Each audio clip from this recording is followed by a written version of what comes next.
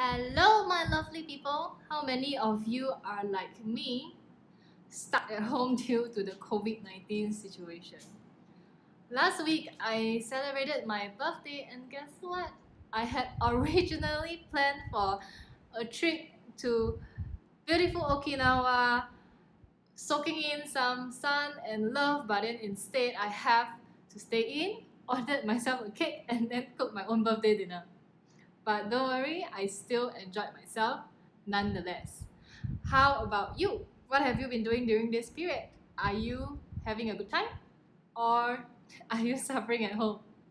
This month, our pillar of happiness is health. To me, there is a holy trinity when it comes to health physical health, mental health, and emotional health. Each one is equally important for your overall well being. And since we are all staying at home, I want to kickstart our health month to talk about self care. So, what is self care? According to the dictionary, self care is defined as the practice of taking action to preserve or improve one's own health. In another version, it says Self care is the practice of taking an active role in protecting one's own well being and happiness, in particularly during periods of stress. In other words, if you are stressed, if you want to be happy, and if you want to improve your health, then self care is for you. So, how exactly do you self care? If you look up self care on Google, you will find 101 ways on which you can self care. Today, I'm going to help you figure out and not only that, to implement self-care routine into your day-to-day life. So let's get started. Firstly, I want you to know self-care is different for everyone. I have my ways of making myself feel good and I'm sure you have your own ways of making yourself feel good. Therefore, the first thing you want to do is to write down a list of activities that you enjoy doing and categorize them under things to do daily, weekly, monthly, and yearly.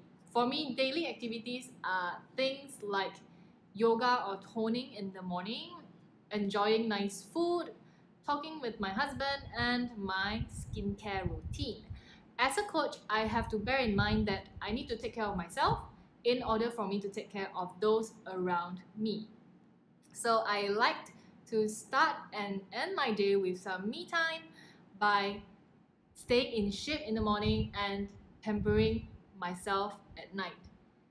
Also, eating delicious food and sharing my day with my husband also recharge me after a long day of work.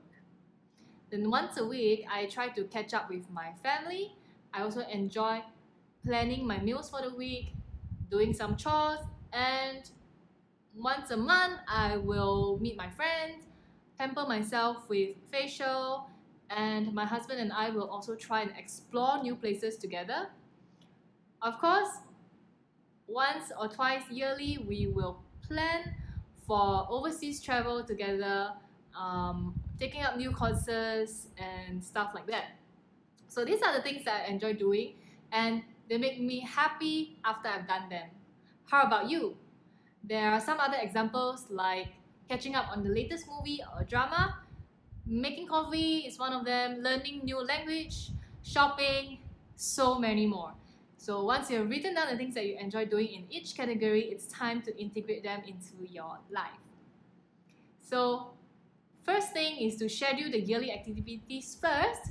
You can set aside time to carry out these activities. Personally, I like to plan my holiday around March because it's my birthday and also the beginning of spring.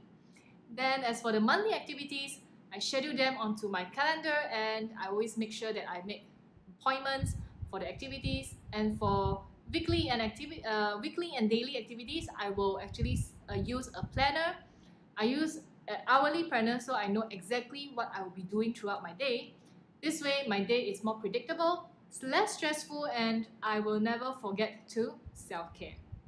So now you have seen how I implement my self care routine. Why don't you try it out for yourself?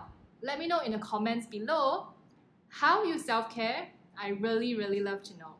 And in my next few videos, I will share with you in details on my morning routine and bedtime routine. So if you are new to my channel, do subscribe so you can get notified when my new videos drop.